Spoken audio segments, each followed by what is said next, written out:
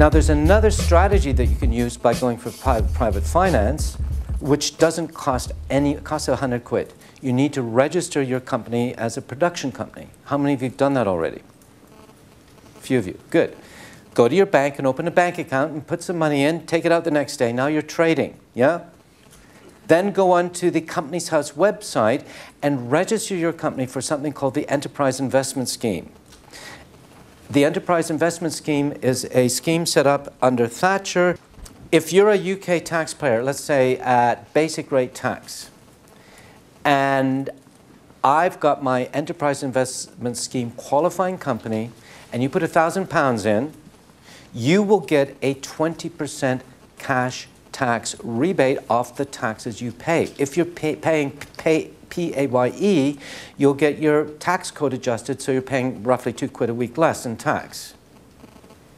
Cool, huh? So now I've got the money, you've given me a thousand, but you've got 200 back, so the cost of the money is really only 800 pounds. Everyone understand that? Right. So I've got a thousand pounds. If you leave it in, and I give you a share or two, whatever the agreement is, a small share in the company, depending how much money you put in.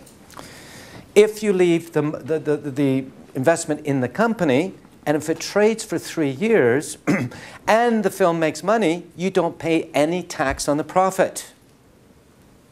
That's cool too, isn't it? But let's say the film is pants and loses every single penny.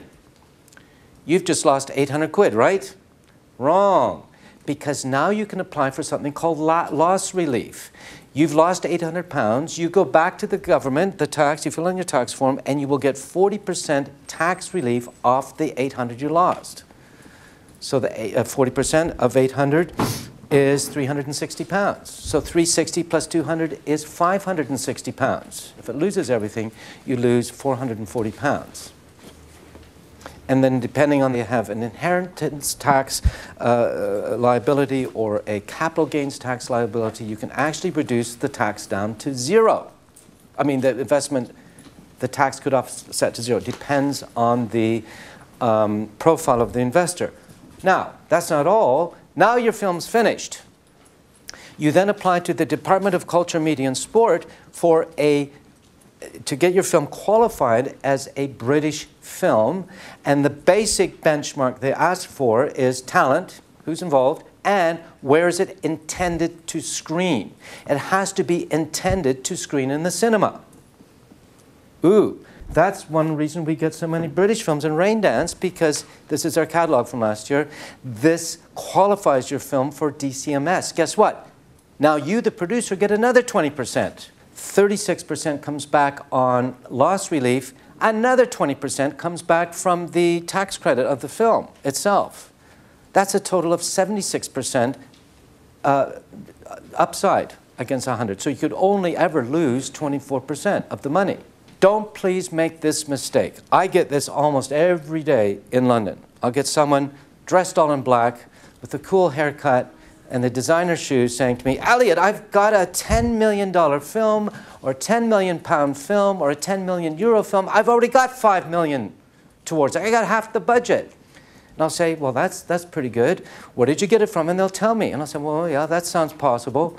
And I said, well, why didn't you start shooting? Could I see the budget? I'm pretty good at budgets. I could go from 10 to 5 mil in about 15 minutes with a pencil and eraser, just going through cut, cut, cut, cut, cut. I could do that. And then they say, wait a minute, wait, wait, wait, Elliot, you're so stupid. You don't understand.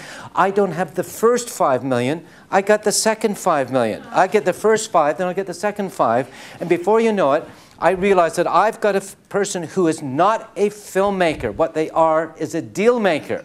They're trying to make deals. And here's the golden rule of the film industry. The film industry will not make a deal with a first-time filmmaker.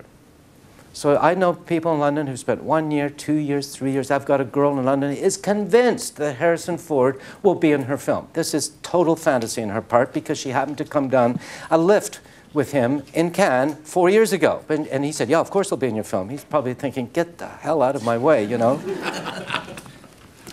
so don't fall into that trap. Be realistic, set a time limit of what the deadline is to get money, and whatever money you've got when that deadline comes, that's, guess what, the budget of your film. I think. And then view that not as a problem, but as a series of challenging opportunities, creative opportunities. Either way, you're going to get some money and put your film in production. You're going to get made the best way possible. And now you need to think of the other end. What are you going to do with it? There's something I've learned over my years at Raindance is that making the film is only about 5% of the puzzle. And I think David would agree that in the last few years, the selling of the film has become 80, 90, even 99% of the problem of the film. Getting your film made may be tough and difficult. It is physically and emotionally draining, but selling your film is far more important uh, process than the actual making of.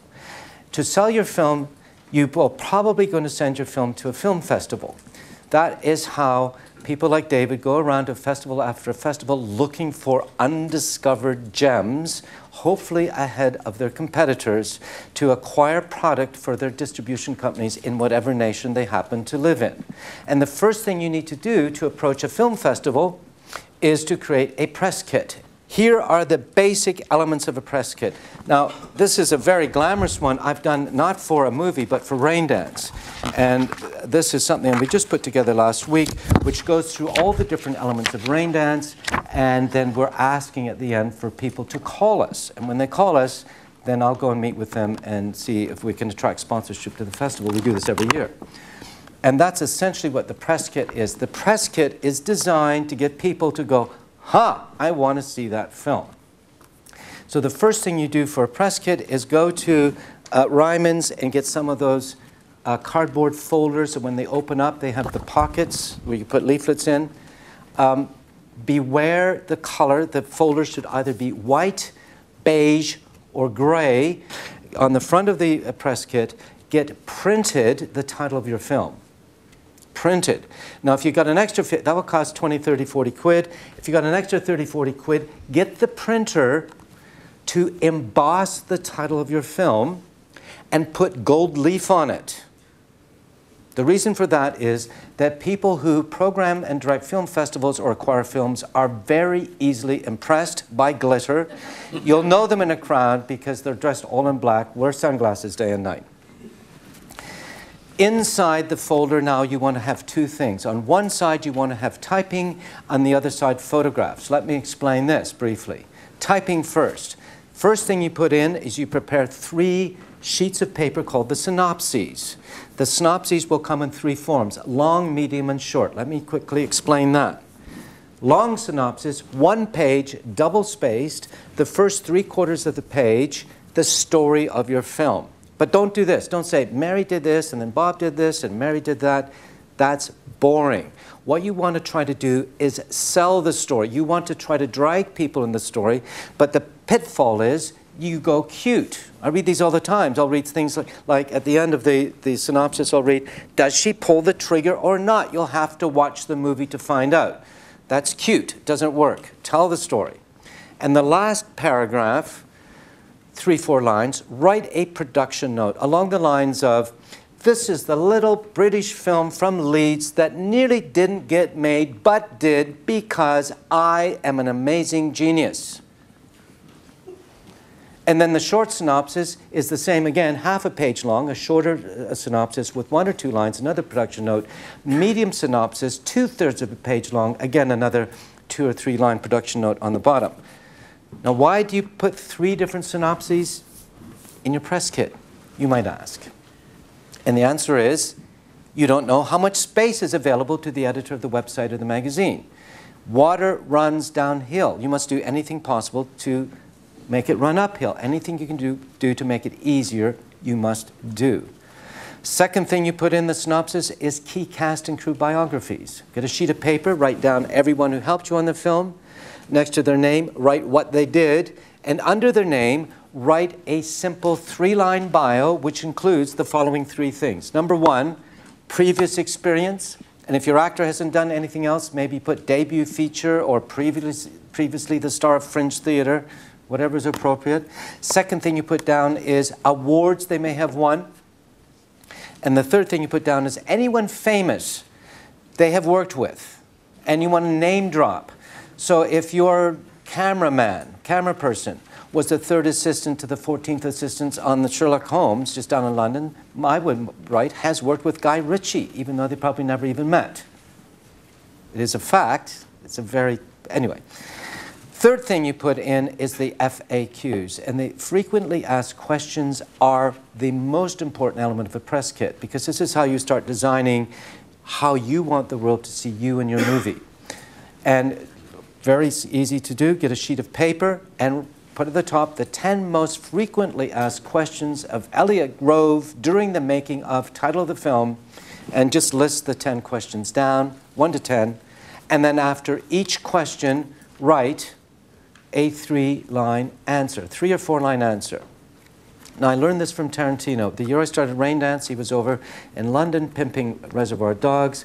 Finally got in to see him with a mate, and on the table was his press kit. And I picked it up, flipped through it. There was the three synopses. Ooh, there was the FAQs. Now, at that time in Britain, Barry Norman, was he not, the big TV uh, reviewer on Sky? And was not Barry Norman saying, this is the most amazing and astounding debut ever in the history of American cinema? Was he not? Do you think Tarantino took the chance to send a DVD off to Barry Norman, wait for him to watch it, and then proclaim on national television that not since Martin Scorsese had there been such a staggeringly brilliant talent as Quentin Tarantino? Do you think he took that risk? No, he did not. In every single question at the end, was a paragraph along the lines of because Quentin Tarantino is an amazing genius. He took nothing to chance, and neither did he take the chance on you, the discerning, independent film going public in the UK to go and see the film and then walk out and say to your friend, My God, I don't think American cinema has ever looked this good. It's all in the press kit. Now, when I travel abroad, when I get outside of this dull, damp, dirty, dark island, I'm always getting into trouble when I say this.